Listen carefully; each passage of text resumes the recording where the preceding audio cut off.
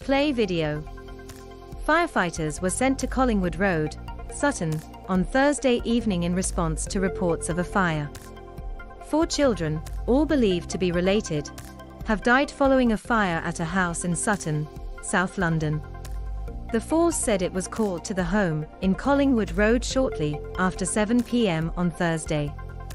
Firefighters in breathing apparatus entered the mid-terrace house in Collingwood Road as it was being ravaged by an intense blaze, before removing each of the four children and giving them CPR.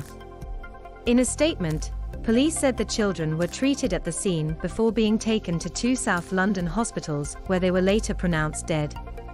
Next of kin are aware and will be provided with specialist support. Roads were closed as emergency services worked at the scene. Credit, PA. In a statement, London Fire Commissioner Andy Roe said, This is an incident that has left everyone numb with profound sadness. My thoughts are with the family and friends of the children, the whole local community, and all those who will be affected by this fire. Fire crews arrived quickly and located the children inside the property. They were brought out of the house and given immediate emergency care. The welfare of our staff involved in this incident is very important to us and all of them will be offered counseling as a priority.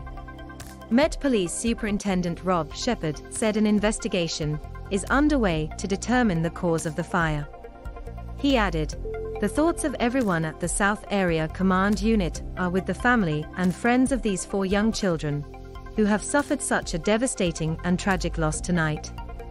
I know these sentiments will be shared by the local community, Sutton and London as a whole.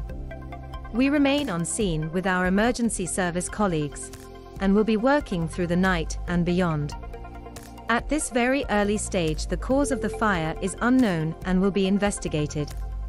The London Fire Brigade said eight fire engines and around 60 firefighters were called to the scene at just before 7 p.m.